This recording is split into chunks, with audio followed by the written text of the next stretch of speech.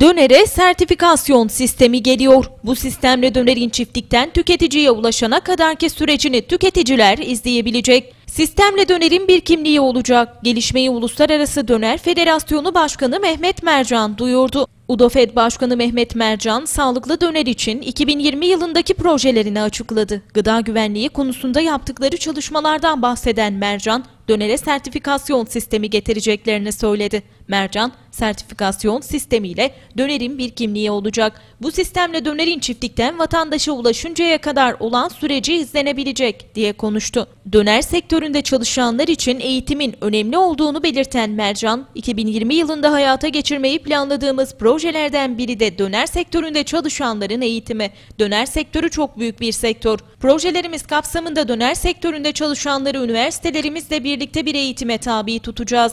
Dönerciler ustalık belgesi alarak çalışacak. Bu çalışmalarımız vatandaşın sağlıklı olarak dönere ulaşabilmesi açısından fayda sağlayacak ifadelerini kullandı.